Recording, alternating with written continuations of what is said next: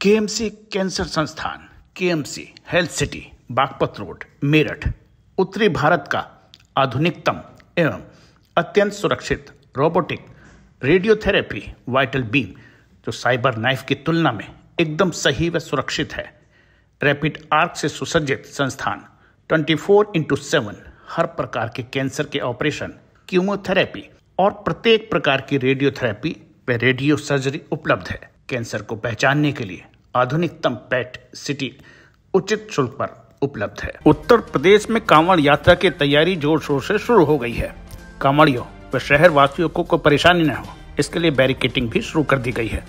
बाईस जुलाई से शुरू होने वाली कांवड़ यात्रा में शामिल कांवड़ियों के लिए सड़क के किनारे शिविर लगाने का कार्य भी शुरू हो गया है। प्रदेश के निवर्तमान मंत्री पंडित सुनील भराल ने आज मेरठ से मुजफ्फरनगर तक कांवड़ मार्ग का निरीक्षण किया। कांवड़ मार्ग पर पड़ने वाले सभी प्रतिष्ठानों की नेम प्लेट लगाने के प्रदेश के मुखिया योगेश आदित्यनाथ के फैसले को बेहद ज़रूरी बताते हैं। पंडित सुनील भराल ने कहा कि यह शुरू से ही है कि प्रतिष्ठान के बाहर प्रॉपराइटर का नाम लिखा जाए। इसे लेकर कोई विवाद नहीं है, लेकिन अखिलेश यादव ने मुस्लिमों को खुश करने के लिए यह विवाद खड़ा किया है। मेरठ से मुजफ्फरनगर के निरीक्षण को फ़र्स्ट बाइट डॉट टीवी के कैमरे ने कुछ इस तरह से कैद किया। देखिए।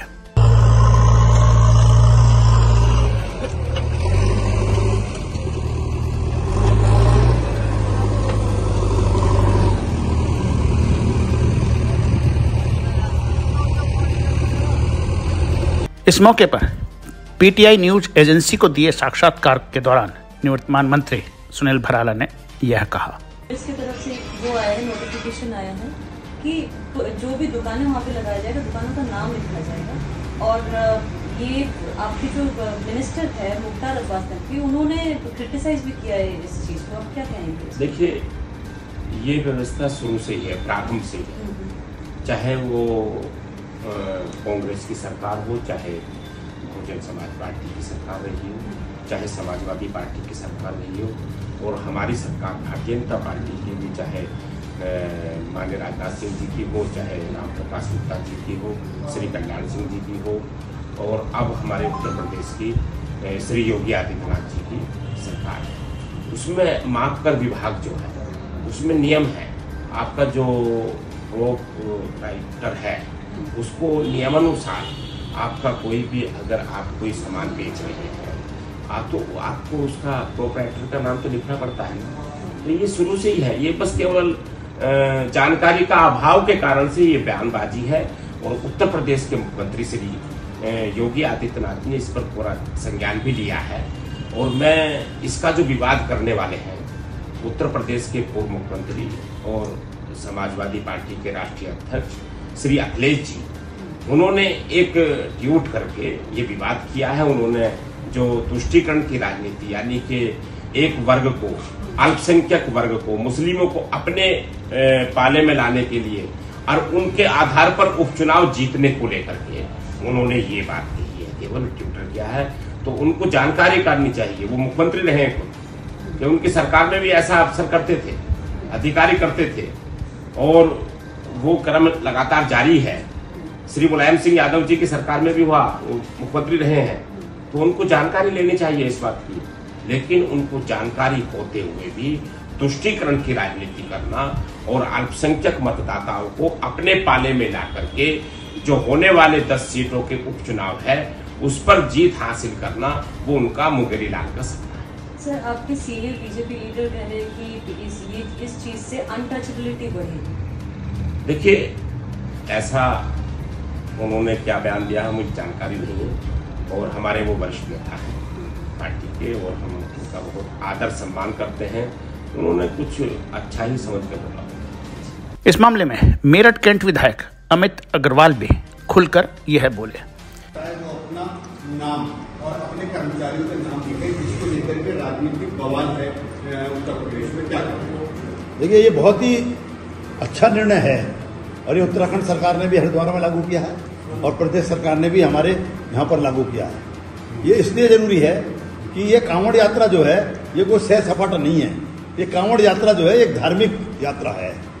और धार्मिक यात्रा में इतना प्रतिबंध है कि जो कांवड़िया अपने घर से जाता है, उसके घर में भी पराठा नहीं बनता, तवे के ऊपर पराठा नहीं बनता।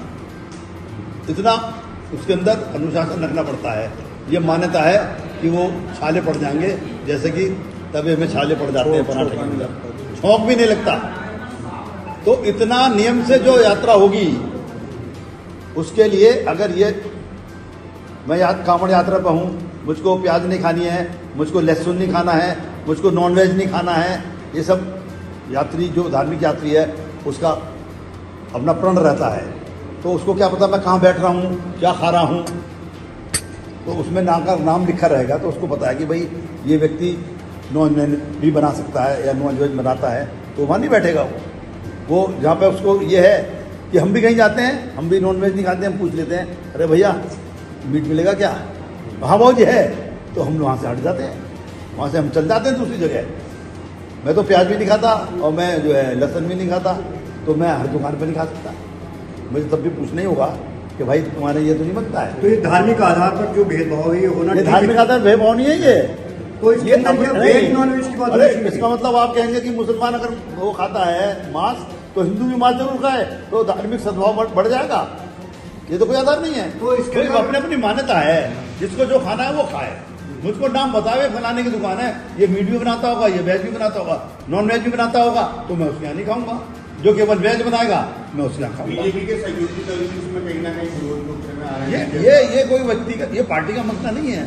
ये आदमी की मान्यताओं का आदमी के धार्मिक व्यवहार का मैं अपने धर्म का पालन करते हुए क्या व्यवहार करता हूँ? एक हिंदू भी नॉन वेज होता है। मैं ये बात नहीं कह रहा। लेकिन जो कांवड़ में यात्रा जाता है वो नॉन वेज नहीं खाता। तो उसको तो परहेज करना ही पड़ेगा। तो बहुत सही है और सही कदम है ये। और इसका पता ही होना चाहिए बल्कि मूल्य की सूची भी लगनी चाहिए। जो आदमी क्या खरीद रहा है कितने का सामान बिक रहा है वो केवल मेले की वजह से या एक भीड़ की वजह से दाम बढ़ाकर ना लेने लगे तो उसके ऊपर लोगों की सूची भी मूल्य सूची भी होनी चाहिए। ये सिर्फ़ इसी क्षेत्र में होना चाहिए पूरे देश की आप मांग करते हैं कोई भी धार्मिक यात्राएँ हो सबको होना चाहिए। और मैं तो कहता हूँ सदैव के लिए नाम कोई कुछ भी रख सकता है। हिंदुस्तान में पौराणिक नाम रख सकता है। किसी मुस्लिम को संगम नाम लिखने पे कोई मनाही नहीं हो सकती। लेकिन प्रोपराइटर सलीम लिखा है तो सबको पता है कि भाई ये सलीम ये चलाते हैं। उसमें नाम रखने में किसी का ना प्रतिबंध है, ना कोई आपत्ति है। लेकिन व्यवहार की आपत्ति है। इस खबर में फ़िलहाल इतना ही। आप देखते रहिए फ़र्स्ट बाइट टीवी नमस्कार।